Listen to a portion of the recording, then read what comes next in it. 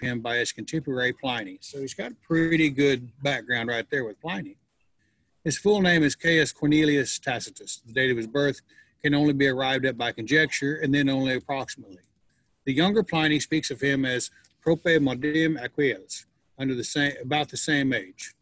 Okay, Pliny was born in 61. Tacitus, however, occupied the office of Quaestor under Vespasian in 78 AD, at which time he must therefore have been at least 25 years of age. This would fix the date of his birth not later than 53 AD. It is probable, therefore, that Tacitus was Pliny's senior by several years. Okay, that's enough. That's enough, sweetie.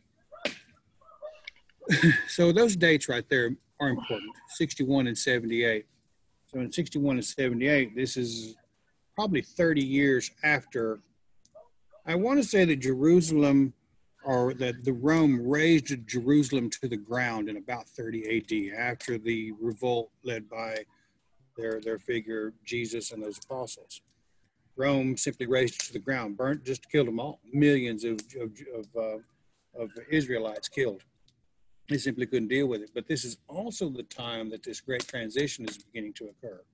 And it's becoming problematic in the empire. Um, they're becoming more and more vociferous, they're becoming more and more radical. This was a time when a monk would stay in a cave for two or three years and then come out and he would meet a passerby on the road. And if they didn't worship the one true God, they felt fully justified in killing them. So there's a radical transition occurring here in the foundations of the faith of this empire. Coming from a pagan, it has got so bloated that it's allowed this cancerous idea to come in. And in another, let's see, another 200 and so years, about the age of the United States, you will have Constantine and the Council of Nicaea. And then later on after that, you'll have Theodosius. So this is very much a time of change that Tacitus is writing this book about Germania. At this time, there are German um, sellswords, if you will, stop, in the empire working in Constantinople and working in various places that uh, the Rome, Romans would use. They would take people from this area and they would send them to be in occupation in this area because they wouldn't have no loyalties there. They'd be far from home. Their only loyalty would be to the empire, and they could enact great and terrible things in behalf of the empire against the people that were not their own. So when you look at this idea of of, um, of Christ being crucified on a cross on a tree, the Gnostics referred to it as a tree of life, supposedly, um, and being pierced in the side by a spear, while soldiers cast lots for his garments, there's inadvertently a very powerful imagery of Germans, of Nordic, of Northern European tribes being a part of this gambling. Because if you'll if you'll remember correctly, um, gambling was one of the ways in which these northern tribes determined if they were living right, because that would mean luck is on their side. Luck was a very powerful thing, and if you were living right, doing the right thing, you had that luck. So they've inadvertently created this real odd scene that perhaps there were troops there. So the correlations run deep. This is that time of transition that Tacitus is writing this. His parentage is also a matter of pure conjecture. The name Cornelius was a common one among the Romans. So from that, Well, you so can log in and I'll just, it'll show them we that we're can draw no inference. The fact that at an early age, he, um, fact that at an early age, he occupied a prominent public office indicates that he was born of a good family. So he's upper crust kind of guy. And it is not impossible that his father was a certain Cornelius Tacitus, a Roman knight who was a procurator at Belgic Gaul, with whom Pliny the Elder speaks of in his natural history. So there's some other evidence there. So from this one man uh, at Gaul, he's got a firsthand account of the Celtics that Julius, the Celts that Julius Caesar spoke of, and Tacitus is on the other side of Northern Europe talking about these Germanic tribes. Of the early life of Tacitus and the training which he underwent preparatory to those literary efforts, which afterwards rendered him a conspicuous figure among Roman literatures, we know absolutely nothing about. You have to ask yourself, why would this one book propel him to be a conspicuous figure among, among Roman literatures? This is a big empire. This is a probably close to its height, if not far from it. And this man writes a book on Germania. And in Annals, his other book, he writes about the people that settled Israel. And he writes about a couple of other cultures too. So those three books propel him to a conspicuous figure among Roman literatures. This is not an easy thing to do. They don't have uh, KDP, they don't have uh, Amazon, they have works of quality. They also have works which either subscribe to the national narrative or that cast blame at the national narrative, things that call into doubt the actions of the empires at the time. How would you do, how would you best challenge some of the narratives that are going on in an empire when the public forum is where most of the information is dispersed? Why you would compare it to a neighboring culture. And this is what Tacitus did with Germania. Most of his arguments here that he talks about call into question the nature of what Rome is becoming based upon the culture of what has heretofore been a most difficult set of people to, to uh, conquer. Indeed, they didn't finish it until the 13 or 1400s with the Holy Roman Empire conquest of uh, Lithuania, the last pagan, the last crusades against paganism. of the events of his life which transpired after he attained man's estate, we know but little beyond that which he himself has recorded in his writings. He occupied a position of some prominence as a pleader at the Roman bar, so he was an attorney. Uh, that is not something to be dismissed either. So when we look at the writings of uh, Snorri, we have to remember that he also held a prominent legal position as the presiding judge of the Althing when he wrote these words. So this legal idea, these great legal minds with their penetrating thought process are also providing us with clear insight into what this is supposed to look like.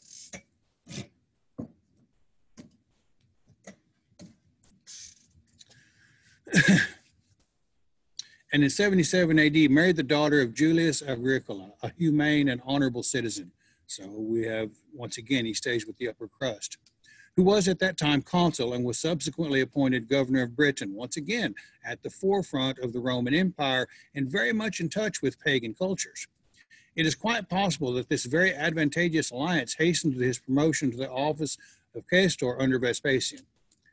Under Domitian, in 88, Tacitus was appointed to one of 50, was appointed one of 15 commissioners to preside at the celebration of the secular games. In the same year, he held the office of praetor and was a member of one of the most select of the old priestly colleges, in which a prerequisite of membership was that a man should be born of a good family. So, right there is a real input into his idea, his understanding of pagan culture in and of itself, being a member of this priestly college. He did not return to Rome until 93 after an absence of four years, during which, oh, wait a minute. The following year, he appears to have left Rome, and it is possible that he visited Germany and there obtained his knowledge and information respecting the manners and customs of his people, which makes his work the sub, makes the subject of his work known as the Germany. He did not return to Rome until 93 after an absence of four years, during which time his father-in-law died.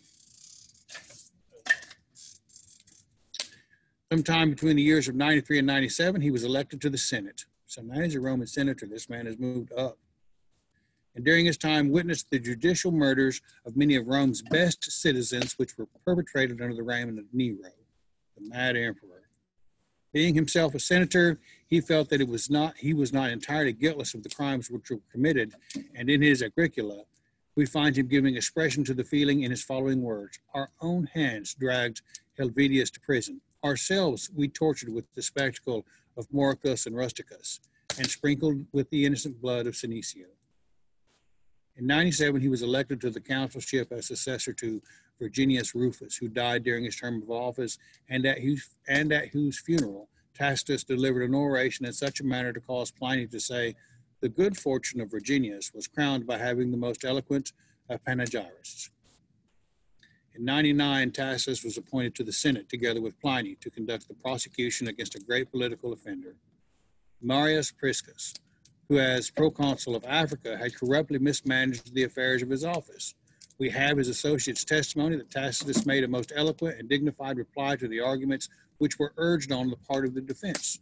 The prosecution was successful, and both Pliny and Tacitus were awarded a vote of thanks by the Senate for their eminent and effectual efforts in the management of the case.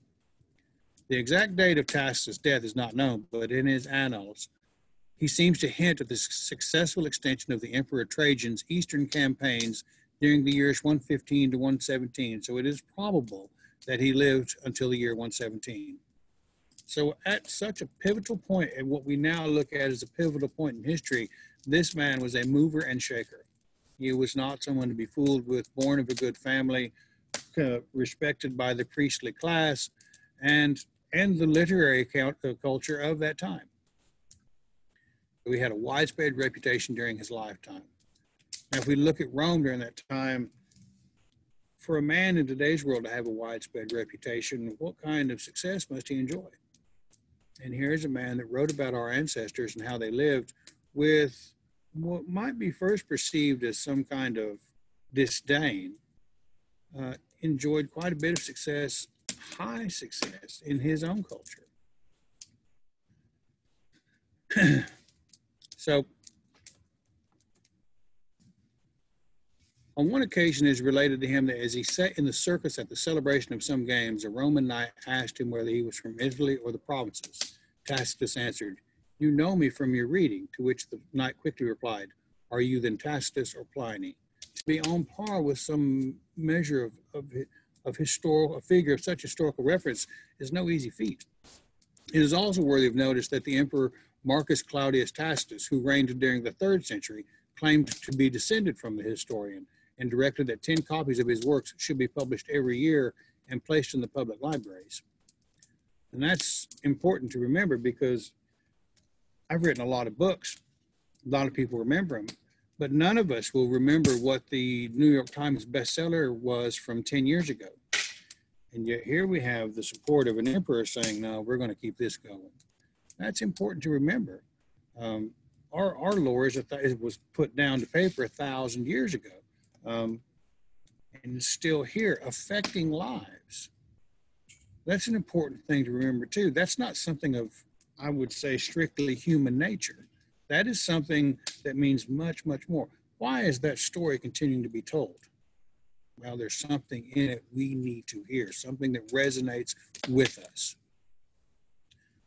The list of the extant works of Tacitus is as follows The Germany, the life of Agricola, the dialogue of orators, the histories, and the annals.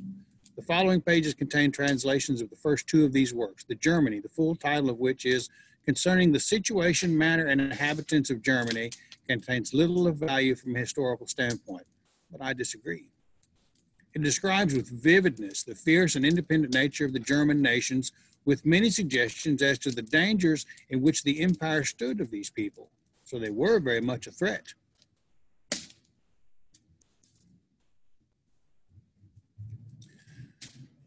and we'll so next it goes into the rest of his books but i want to dive into this and see if we can get something going on tacitus because that's what we're all here on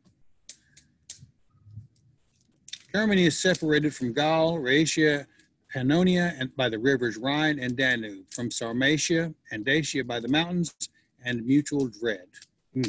means they all respect with each other mutual dread is no slight thing it's a mutually assured destruction kind of like uh, hmm, Russia, and the United States.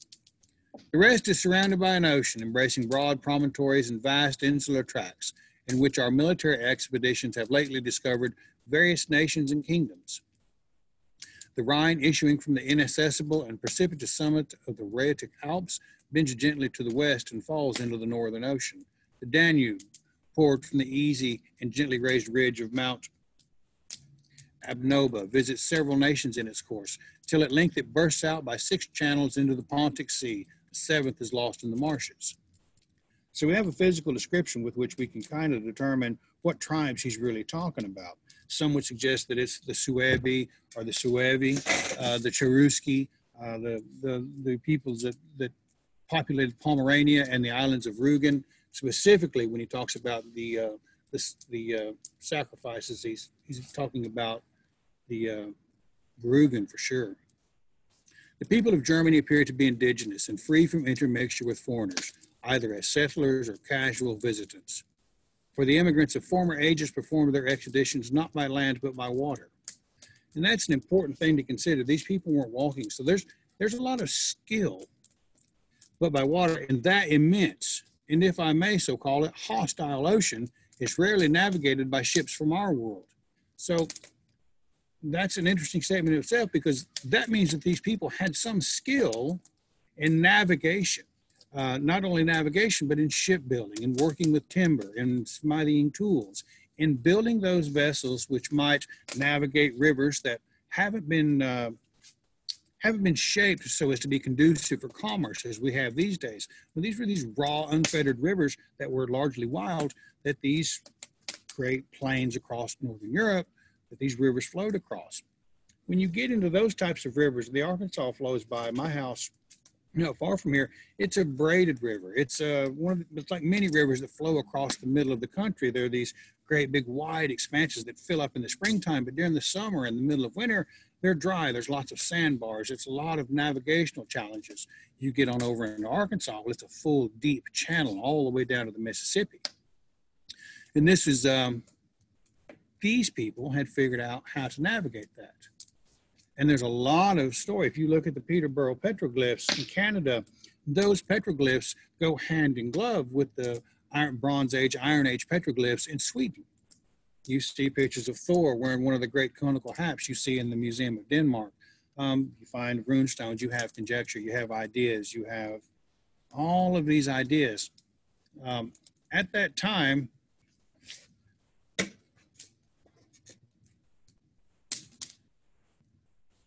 that great navigable ocean at that time was navigable, but it wasn't always. There, throughout history, there have been many small ice ages where that sea became very clogged with ice and really not navigable.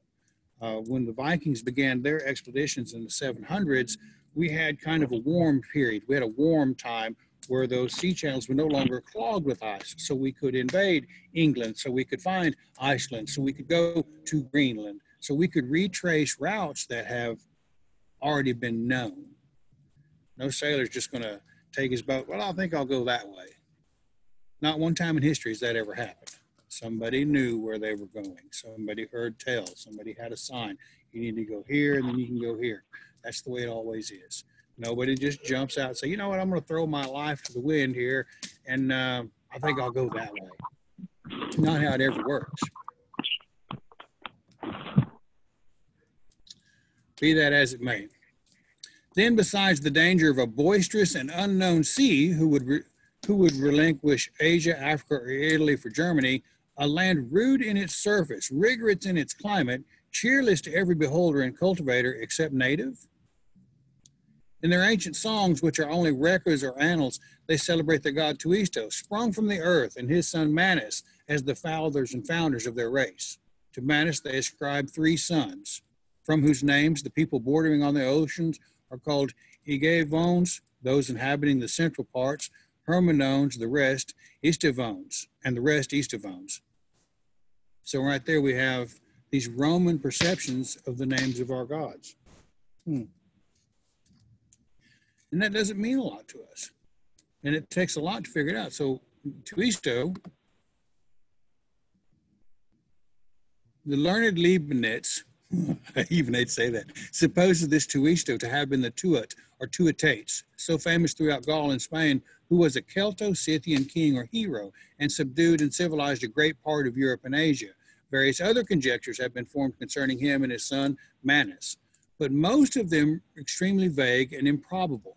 Among the rest, it has been thought that in Manus and his three sons, an obscure tradition is preserved. So this is where they try to tie it into Cain, Abel, and Seth or Noah, which is one of the real first clues that we have that he's writing this during that time of transition from these ancient pagan empires to this we're trying to tie it all together. See they got to sell this christianity to all these other people.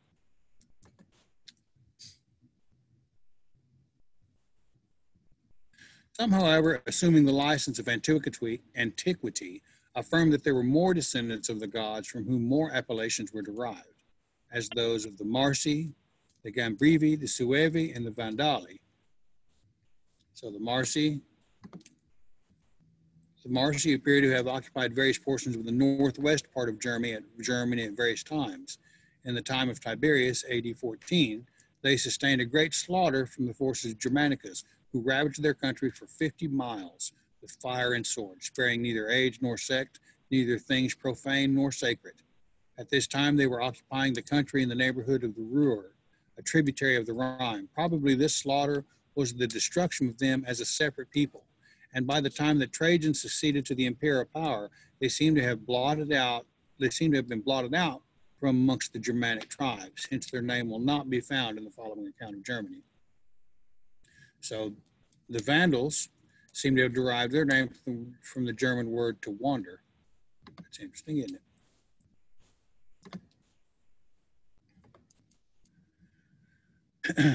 that of Germany, on the other hand, they assert to be a modern addition. For that, the people who first crossed the Rhine and expelled the Gauls and are now called the Tungri were then named Germans, which appellation of a particular tribe, not of a whole people, gradually prevailed, so that the title of Germans, first assumed by the victors in order to excite terror, was afterwards adopted by the nation in general. So this was a particularly violent group of individuals that uh, weren't going to show you any mercy. Such was the way it was. That um, that's how empires all over the world have been built. so they also they have likewise the tradition of Hercules of their country, whose praises they sing before those of all other heroes as they advance in battle. Well, that's interesting because that's a peculiarly um, that's a peculiar term to put in there. Hercules was such a very much Greek and Roman uh, idea. So, under this name, Tacitus speaks of some German deity whose attributes corresponded to the main with those of, those of the Greek and Roman Hercules. What he was called by the Germans is a matter of doubt. So it could have been any, could have been Thor, it could have been Tyr, it could have been, it could have been, it could have been any number of, of ancient heroes that we would celebrate. But we begin to see the influence of these heroes in inspiring these great nations or these tribes to become as great as they want to become. A peculiar kind of verse is also current among them, by which the recital of, of by the recital of which, termed barding, they stimulate their courage. So we have the ideas of art that stimulate people to have imaginations of the divine when people portray what they see and they try to um, they add some aspect of what they hold divine into it but the barding that's an interesting term that is those are the songs, the stories, the tales that inspire men to want to do great things, that make them believe that no matter what happens, whatever the end may be, there will be something great. There will be, I will have achieved something magnificent. I will be remembered. I will be immortal. My children might have a safe place to live.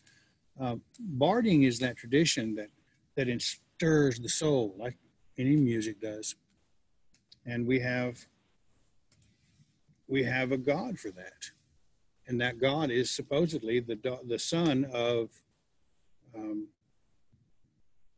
Odin's visit with Gunnlod. His wife is Iduna, who gives the who gives the apples that sustain the life of the gods, who represents some aspects of the earth herself. Um, Bragi is that god that Loki first insults at Aegir's feast, calling him a coward and yet by his words men are inspired even down into the popular cultures of the of the various tribes while the sound itself serves as an augury of the event of the impending combat for according to the nature of the cry proceeding from the lion terror is inspired or felt nor does it seem so much an articulate song as the wild chorus of valor a harsh piercing note and a broken roar are the favorite tones while they render more full and sonorous by applying their mouths to their shield so they're creating a true cacophony of noise meant to instill fear. So it's bolstering courage. It's that great battle cry. Hmm. One more interesting idea of Bragi that he would create such that he would be responsible for creating that that image or that idea or that feeling to string along the passions of men preparing to risk it all with something like that. They call it barding. Hmm. Can be done in the courtroom or it can be done on the battlefield. Bragi is a far more important being than we understand. Some conjecture that Ulysses, in the course of his long and fabulous wanderings, was driven into this ocean and landed in Germany, and that Acerbernium, a place situated on the Rhine and at this day inhabited, was founded by him. So the Greeks, it's now Asberg in the county of Meers.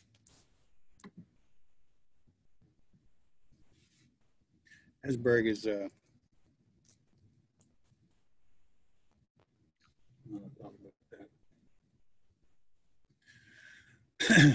they pretend that an altar was formerly discovered here, consecrated to Ulysses with the name of his father's Laertes subjoined, and that certain monuments and tombs inscribed with Greek characters are still extant upon the confines of Germany and Raetia.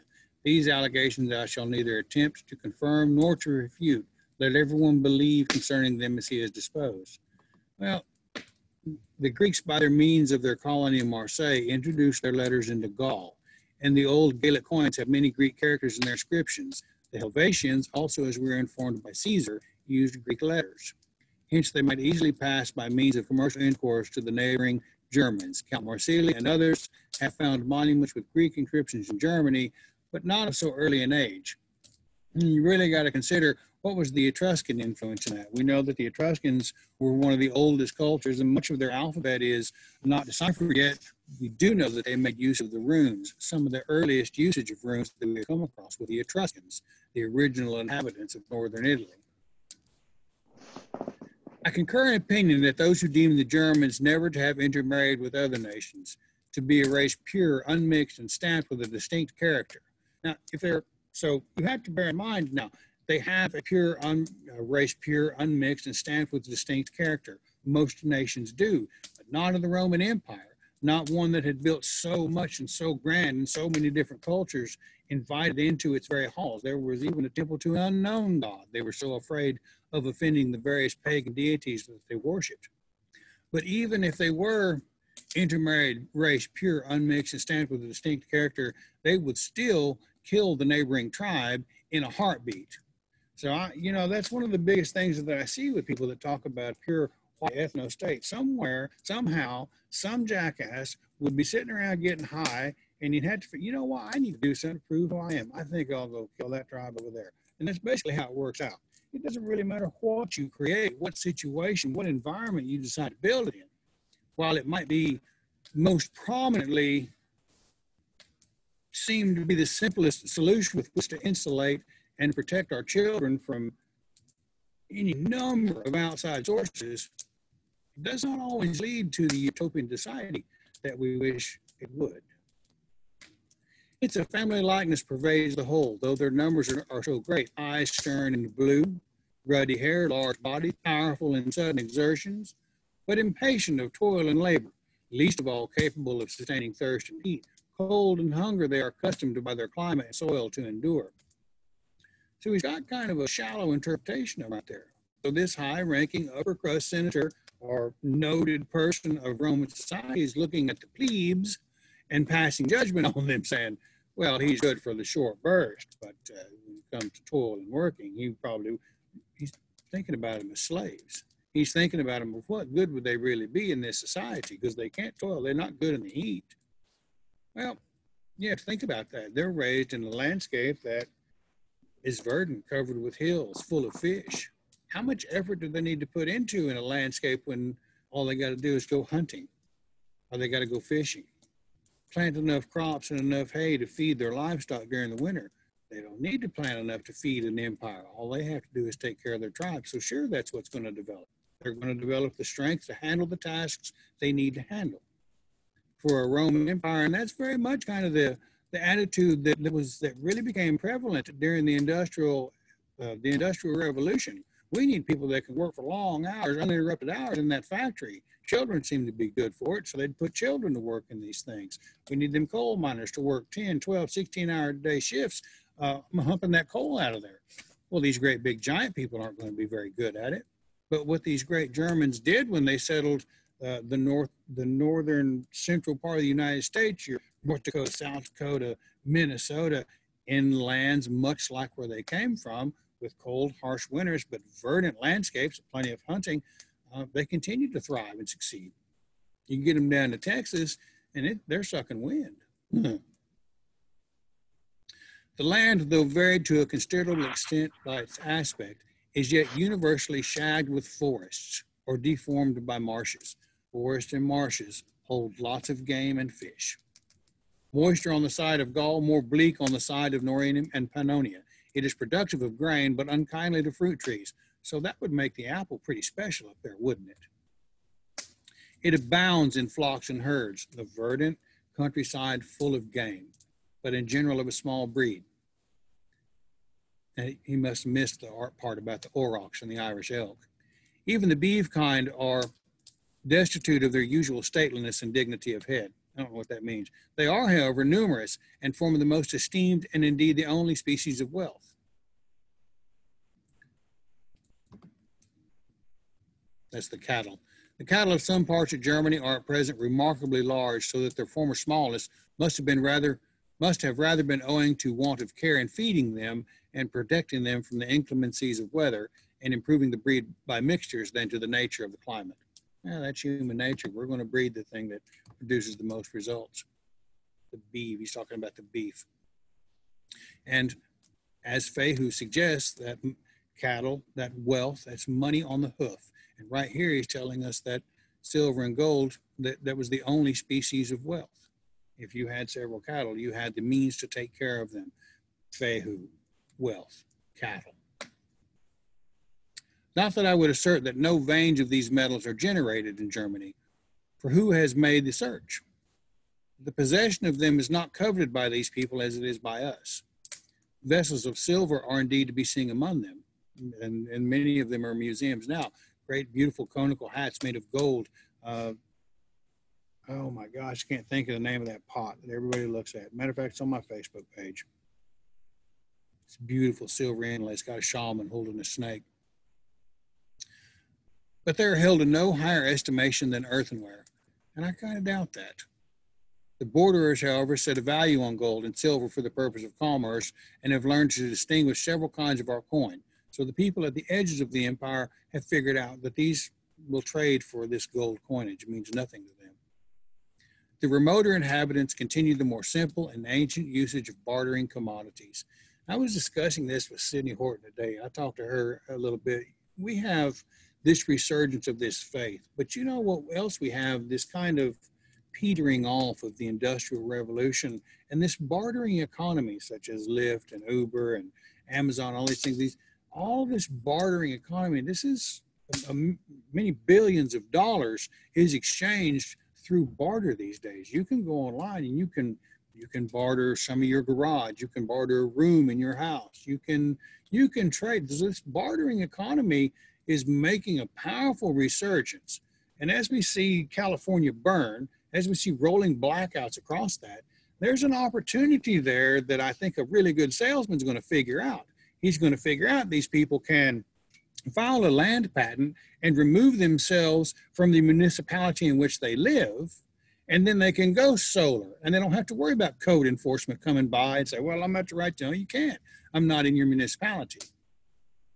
There's a huge market just born for all of these people. Tesla solar shingles are 90% efficient. Yeah, they cost $25,000, but would you rather be self-sufficient, industrious, and rely upon yourself? Or do you want to continue to rely on someone else and continue to be righteously indignant about the failing of someone else? when we begin to put the control of the success, the comfort of our lives in the hands of others, we really bought into it. We got suckered. We weren't even paying attention. We will see the first essences of the freedom of that kind of self-reliance and industriousness take root in California. Every year it burns. Every year it's somebody else's fault.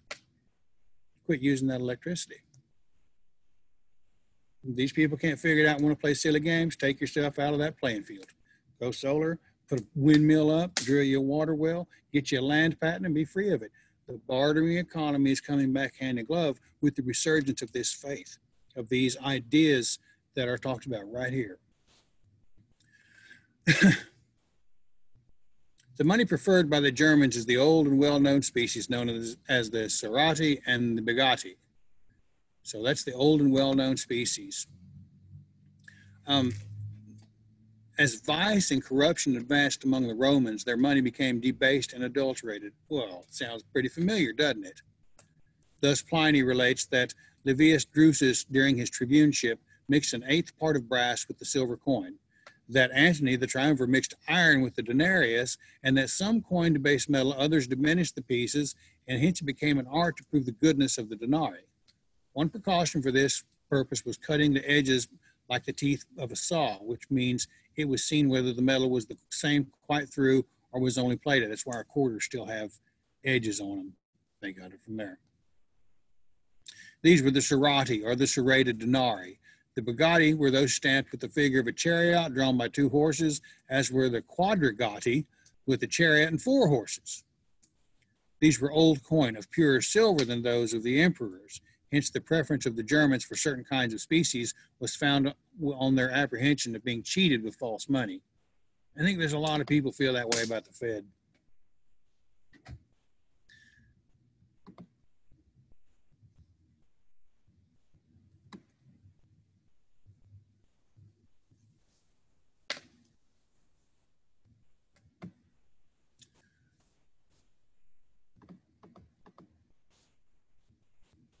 Even iron is not plentiful among them, as may be inferred from the nature of their weapons. Swords or broad lances are seldom used, but they generally carry a spear, called in their language the framea, which has an iron blade, short and narrow, but so sharp and manageable that as occasion requires, they employ it either in, cl- in close or distant fighting. This spear and shield are the armory are the armor of all the cavalry. The foot have besides missile weapons, several to each man, which they hurl to an immense distance. They are either naked or lightly covered with a small mantle and have no pride in equipage. Their shields only are ornament, ornamented with the choicest colors. Few are provided with a coat of mail, and scarcely here and there one with a casque or helmet. Their horses are neither remarkable for beauty or swiftness, nor are they taught the various evolutions practiced with us. The cavalry either bear down straight forwards or wheel once to the right, so compact a body that none is left behind the rest Their principal strength on the whole consists in their infantry. Hence, in engagement, these are intermixed with the cavalry. So well according with the nature of equestrian combat is the agility of these foot soldiers, whom they select from the whole body of their youth and place in the front of the line. Their number too is determined, a hundred from each canton, and they are distinguished at home by a name expressive of their circumstance, so that that so that what at first was only an appellation of number becomes henceforth a title of honor. Their line of battle is disposed in wedges. Now, where else do we see that idea of the wedge? Well, that is one of the secrets of combat that Odin, the man on the mountain, imparts to Sigurd when he brings him onto the boat. He teaches him approach it in a wedge formation, right down the middle and split it. That was one of the lessons, like I say, that's one of the lessons that Odin taught Sigurd was the wedge formation. That was a true gift of tactics from Odin himself. Here we have an idea of it.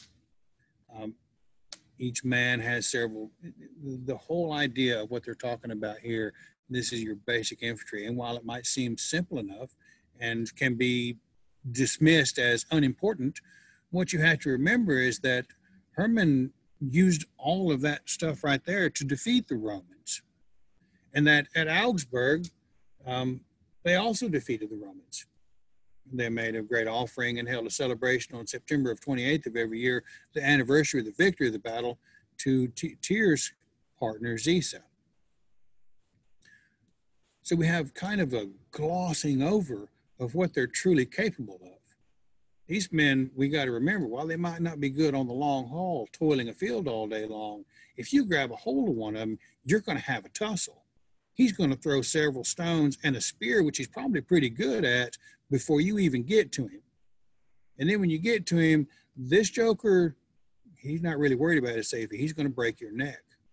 Or he's going to row a boat all day. And then when he gets off, he's going to be singing a song talking about ripping your head off.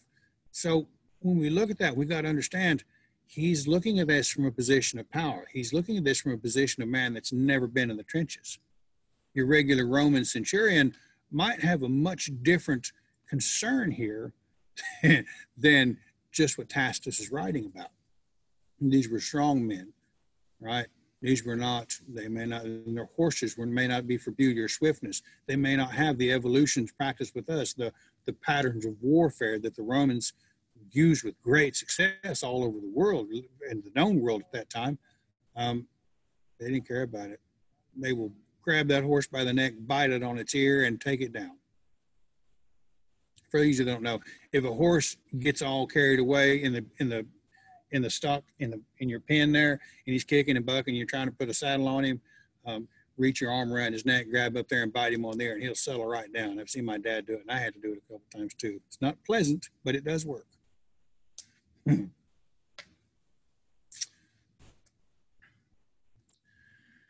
to give ground, provided they rally again, it's, it's considered rather as a prudent stratagem than cowardice. So they will rope a dope you. They will call you in, regroup, and whoop your ass. They carry off their slain even while the battle remains undecided. The greatest distance that can befell them is to have abandoned their shields. The greatest disgrace that can befall them is to have abandoned their shields. And that's cowardice. And that's that's where the priests begin to offer punishment. That's where the stripes come from. When you are convicted of cowardice on the battlefield, that's where the Gothi steps in and administers the stripes. That's typically where you'll be outlawed because you're of no use to the tribe at that point. A person branded with this ignominy is, is not permitted to join in their religious rites or enter their assemblies, so that many, after escaping from battle, have put an end to their infamy by the halter. That means they've hung themselves. So if you're in battle and you lose, then basically what this is is a loss of faith. See, that's there's a lot of what they talk about here is to bolster a man's confidence. The Valkyrie, the woman to escort the slain on the battlefield to Valhalla. So there's hope for a soldier that even though he gives it his all and comes up short, there's something very special for him. There's a real powerful connection between life and death that goes with this idea of the warrior mentality. And that warrior mentality is meant only for a stage of a man's life. As he gets that number, and that number will have honor on it. From there on out, people, and he doesn't give himself that honor, others give him that honor. Others hold that number in high esteem. Others hold that name in high esteem. That's where honor, when you walk across the stage after you graduated college, you graduate with honors. Someone gives that to you. I don't sit around and say, well, I've done the honorable thing. Who the hell am I to say I've done the honorable thing? There's 10 people over here that might say that was pretty shitty. So we got to pay attention to that quite a bit. But they, they carry off their slain from the battlefield even before it's undecided there's something special to occur there. Um, but after they, if they do fail, if they are branded with the ignominy, they are not permitted to join in the religious rites or enter their assemblies. They're not even allowed to come into those areas. So there's something very special in the divine that if you've lost faith, who are you to come in here? There's no forgiveness in this. You do the right thing each time, every time, all the time. And I'm telling you, if you can even begin to apply a tenth of that concept to what you're doing in this life, everything changes. Everything changes. Do the right thing each time, every time, all the time. There's no telling what your life will look like. Even if you think you're going to fail, do the right thing. Stand up and take it like a man. because those people that failed to do that, our ancestors, well, they weren't worthy to stand and vote. So you have to ask yourself when somebody says, Well, I stand before my gods, I have you done all of those things necessary to earn that right? Because I'm looking at this right here saying there are some cases that you don't get to do that. In the election of kings, they have regard to birth and that of generals. So in the election of kings, they have regard to birth. You're born into it. In that of generals, to valor. You earn it. Their kings have not an absolute or unlimited authority, and their generals command less through the force of authority than of example. So they led by example. Nobody's going to follow a coward into battle. And if you're born into a kingship, you have to remember that while there was always a chieftain, and the other side of that spectrum, there was always a Gothi. There was always the division of power. That's where the concept of the division of power came from, with Thomas Jefferson understanding and reading about Anglo-Saxon civilizations and all of these ancient chieftains. That's where this division of power come from. Um, and there were a lot of reasons for it, but the original concept originated from these tribes of Northern Europe. The king may have been born into it, but there was a Gothi there saying, wait a minute now, because they're the ones that administered punishment, not the king. It was the Gothi. The Gothi received annual tribute. The Gothi made sure that there was a, the king made sure that there was funds for a hall. The Gothi received funds to make sure that the hall was taken care of, uh, that there was annual feasts and everything else. And then they did their best to weave into, with a king or chieftain, the kind of framework for a person to live a life where he was assured that if he did the right thing each time, every time, all the time, that he would have a comfortable position in that society, in that tribe. He would be secure in who he was. He wouldn't need to reach out for some righteously indignant idea to make sure that he felt important. He would have what it takes all the time to do what it takes to protect something very special and sacred. Their lives were interwoven with the ideas of community, tribe, and spirituality. They, and it seemed to work for a long time.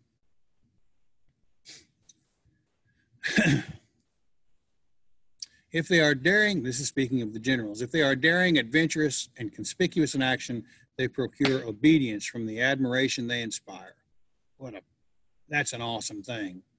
None, however, but the priests are permitted to judge offenders, to inflict bonds or stripes, so that chastisement appears not as an act of military discipline, but as the instigation of the God with whom they suppose present with warriors. They also carry with them to battle certain images and standards taken from the sacred groves. So even their ideas of warfare were woven into the ideas of the divine. There's something spiritual, even in the act of competition for life and death. It's a gamble. And if you have luck on your side, who's to say what you're going to win? If you have a God on your side because you've done the right thing, because you've successfully woven the two together, now all of a sudden we're talking about something much different, something much grander, something. And how could you be a coward in that? How could you be cowardly in that kind of atmosphere?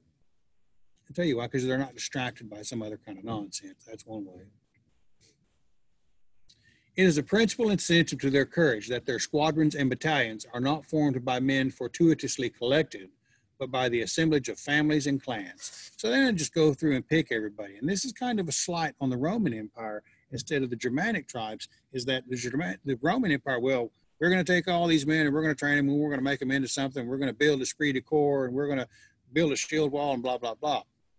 When you get a group of families and clans, they're going to fight for love of each other they're fighting for something much more powerful than the Roman Empire could. Is they're beginning to lose grasp of that concept. There's no powerfully motivating figure at the time that he's writing this. You have Nero fixing to come to power, and Rome's going to burn.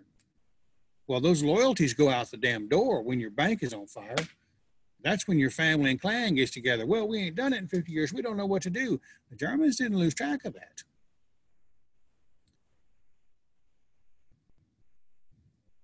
Their pledges also are near at hand.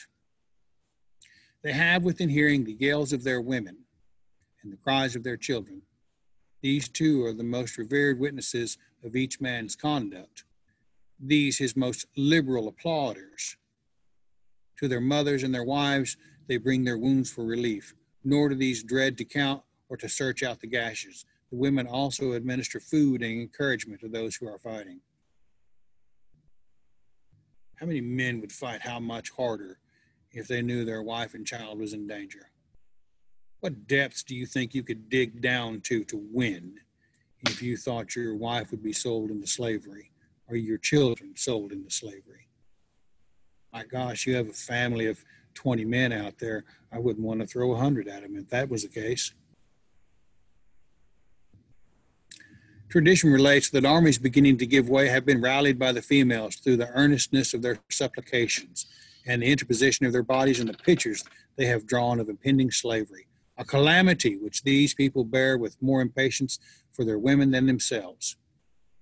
So that those states who have been obliged to give among their hostages the daughters of noble families are the most effectually bound to fidelity.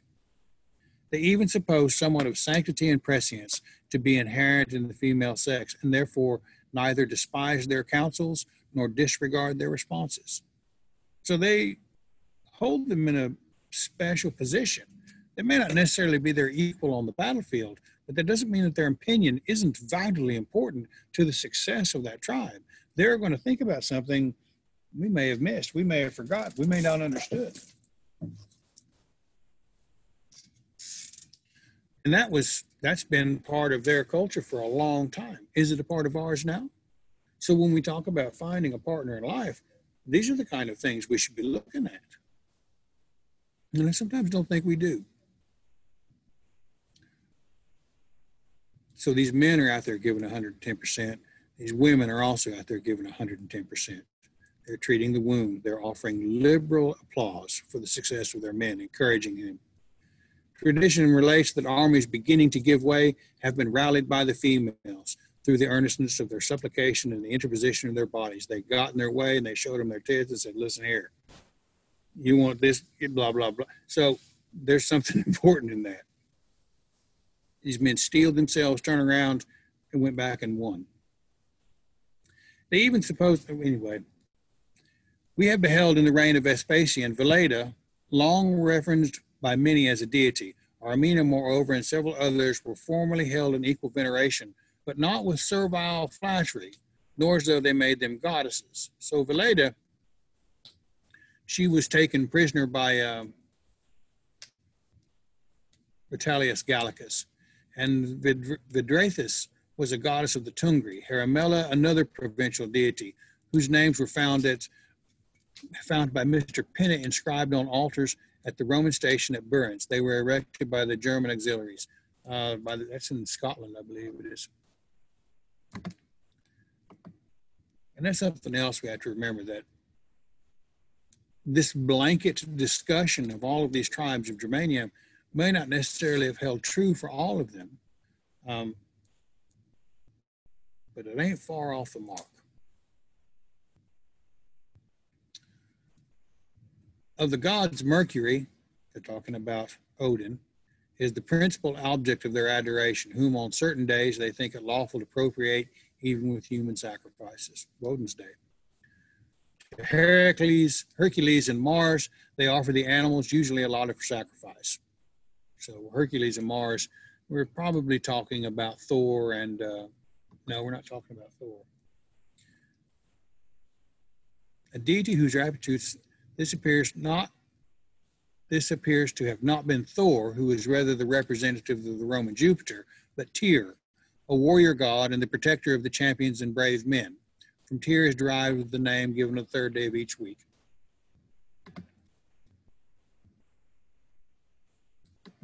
Some of the Suebi also performed sacred rites to Isis, and that most likely was Freya. What was the cause and origin of this foreign worship? I have not been able to discover. For, further, that her being represented with the symbol of a galley seems to indicate an important religion. Now that's probably Zisa. That's Zisa there. The Suebi worship in Zisa because Zisa symbol was the was the the light light Roman warship that could travel on the rivers, and you'll see it sometimes on the petroglyphs. It's just a small boat with some rowers, and there'll be a solar cross on the mast. That's a symbol of Zisa herself. they conceive it unworthy the grandeur of celestial beings to confine their deities within walls, or to represent them under a human similitude. Woods and groves are their temples, and they affix names of divinity to that secret power which they behold with the eye of adoration alone. So there's two things that we need to consider about that, and two things that are they're really kind of shit on in the Prose Edda. They, conceive it unworthy the grandeur of celestial beings to confine their deities within walls or to represent them under a human similitude. So when they're talking about that, you had to think about Loki at Aegir's feast. And I pointed this out in my book, Hel, the Sun Facing Goddess.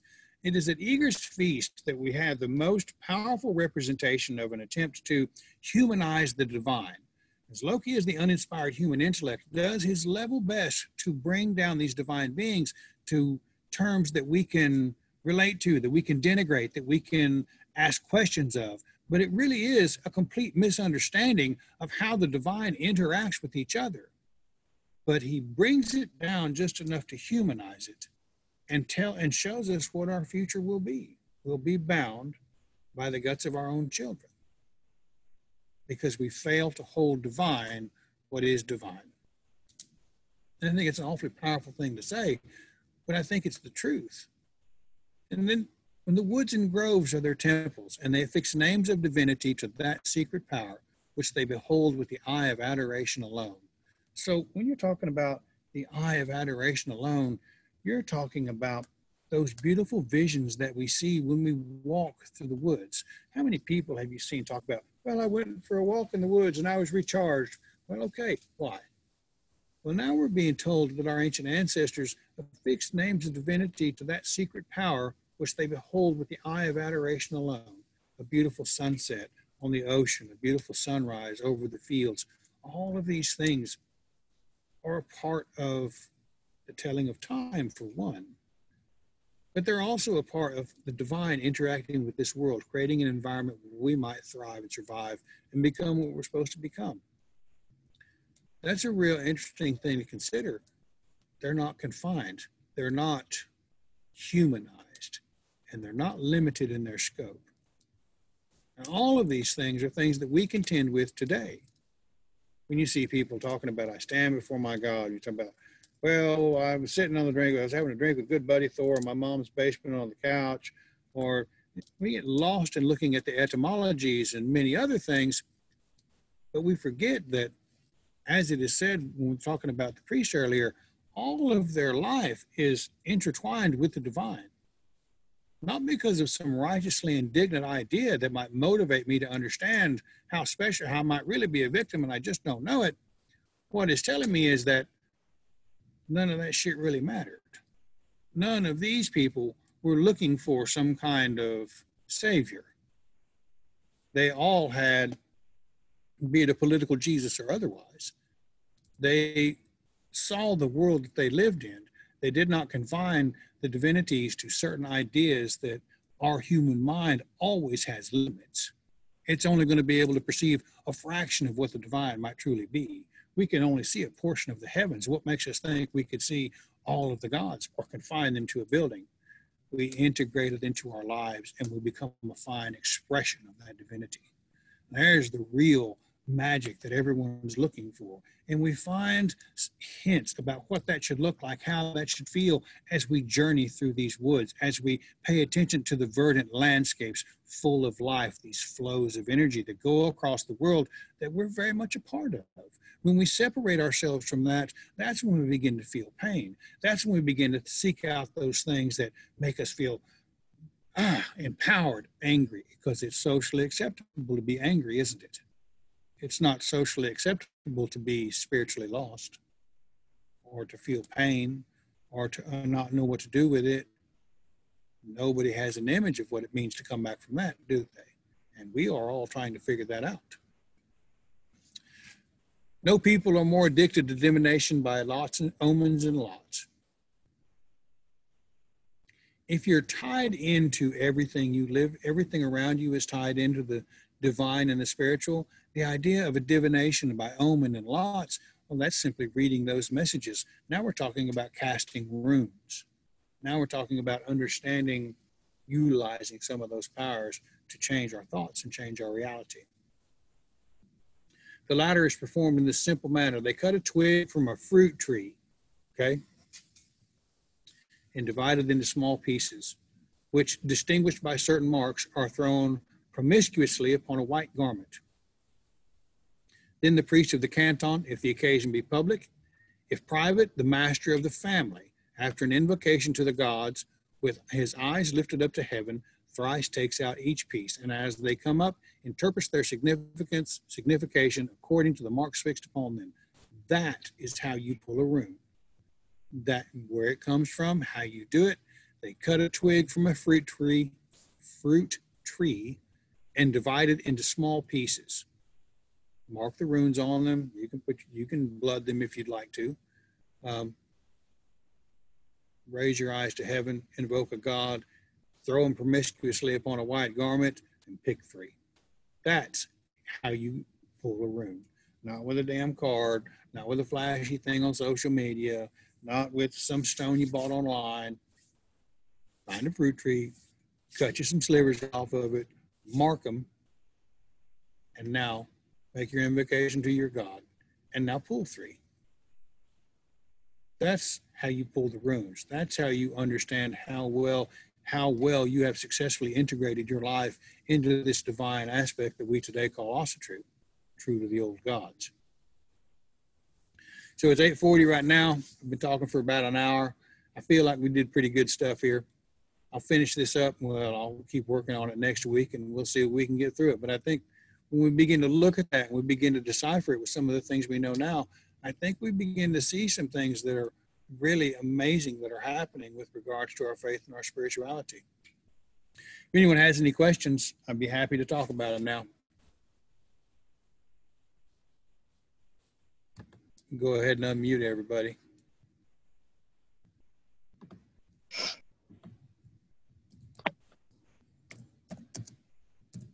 Hello.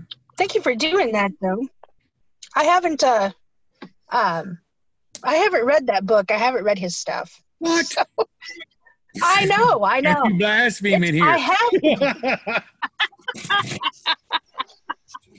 so, you know, sometimes there's so many books, you just get a little behind on what you're reading. so, I know, no, I appreciate that. That's awesome. That is an important book, man. Well, and I think too, I, I probably haven't prioritized it because everybody always says it's so intimidating that it's just hard to read. And I, that doesn't sound like it was hard to read though. So I'm like, oh, there's hope here. I could read this. No shit.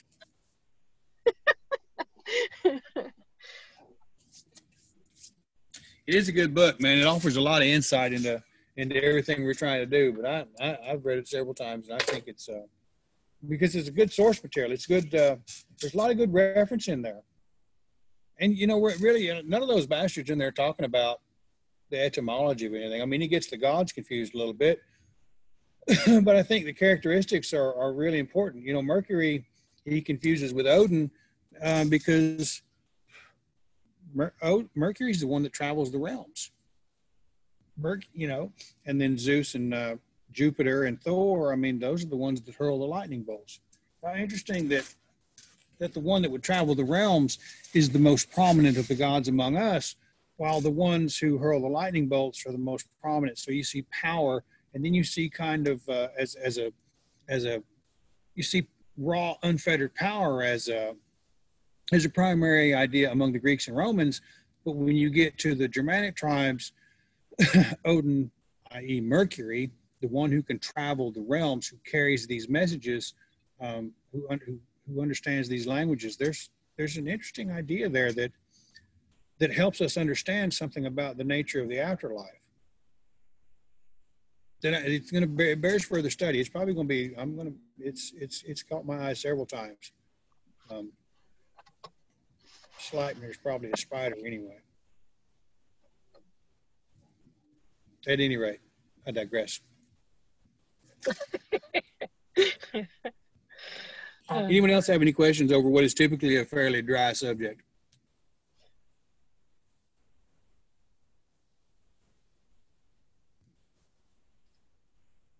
No? Okay.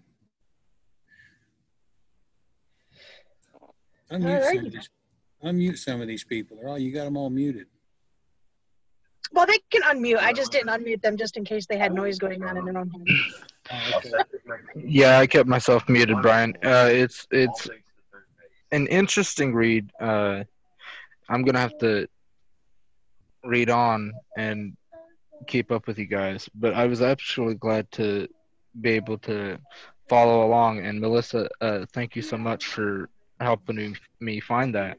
Uh, when you first started out, I was really confused because the the texts that I was following along, it didn't sound like what you were starting with until you actually started reading it. And then I was like, okay, yeah, this is the right one.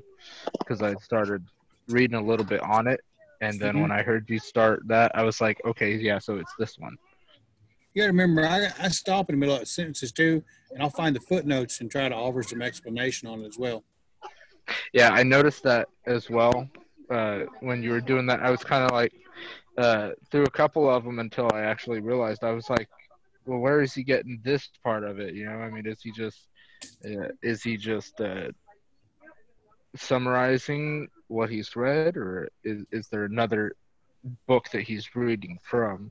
But then I noticed that there was footnotes in there, and I, started to try to follow along there too. You know, Will Will brings up a point. That difference also points to the depths of the racial soul of Germanic peoples.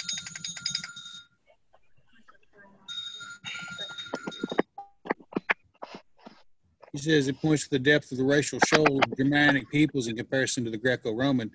And I think that's an interesting. It's, it's interesting to watch that develop because what happens in the Greco-Roman is you eventually end up with a with a faith or a spirit or a religion that allows them to control a much larger, much more vast empire that does have several different types of people in it.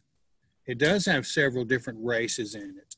And how do you control an empire that large? You can't militarily keep enough people in place to keep everybody at the tip of the sword. You've got to embrace a spirituality. And this is one of Constantine's, I mean, I'm, it obviously costs us a lot, but if you think about it from an emperor's point of view, if you think about it from Constantine or Theodosius's point of view, who actually made Christianity the official religion of the Roman Empire, you find, and you find a tactical stroke of genius. And the same thing for Peter the Great and the Russian Empire with the Russian Orthodox Church. That is a vast empire. You can't control that many people. So the Germans hadn't plagued themselves with that kind of problem. They hadn't brought a problem to their doorstep that needed to have that kind of solution. Whereas your Roman Empire and your Russian Empire and your Persian empires, they brought to their own doorstep a problem that they had to contend with. That being, how do I control this empire? I got out here like John Wayne, whooped everybody's ass, now it's mine. Well, shit, now what do I do? Now I got to figure out how to keep all these people in check. I know what, we'll tell them all they're equal. We'll give them uh, some mythological figure to believe in that has conquered death, and I got it. I got it. It's still around today. And we're sitting here trying to figure out in these vast, in a world of 7 billion people, how to create that same kind of idea. And I think that we, we, we plague ourselves with the problem when we try to say, well, it all really needs to be kind of this way. Well, other people have a right to be wrong. So when we eliminate that idea, um, when you eliminate those outward pressures, it becomes real simple to stick with people you know and like.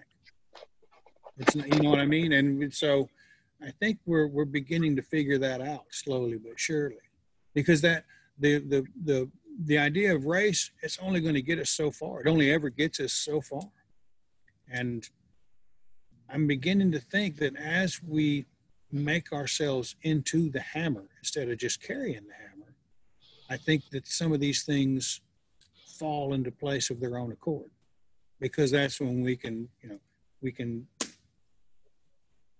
we're going to do it. We Steve McNallen told me a long time ago. We were at uh, Camp Norgay. I think it was uh, it was when Mark fell. It was when Mark figured out he first had cancer.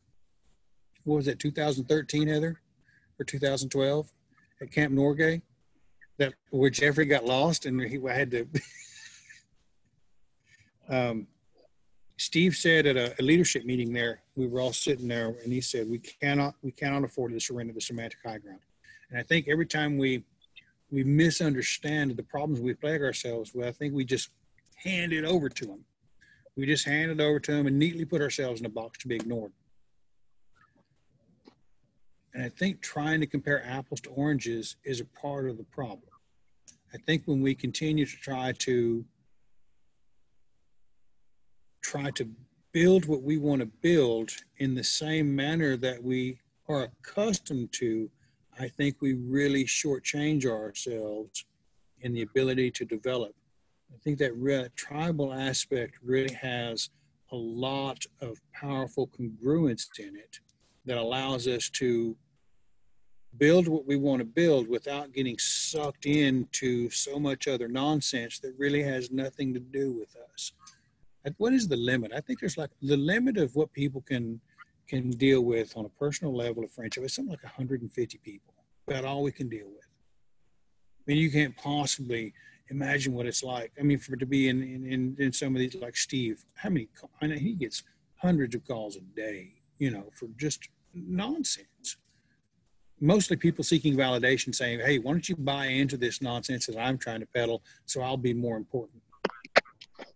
And it's typically what he gets, and I get it, and everybody else. But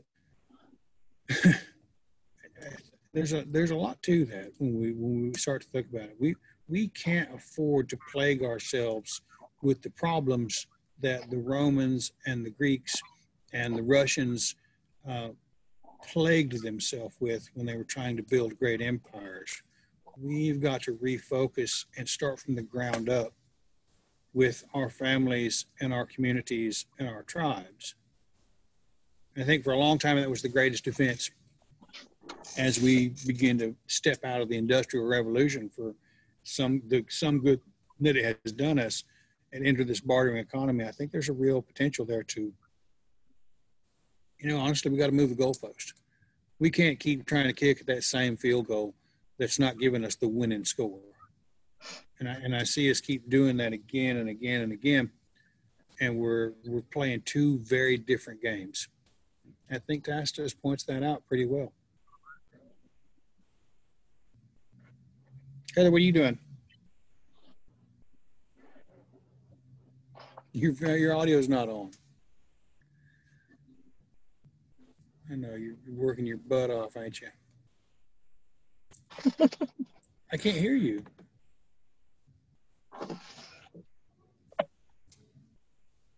Nope.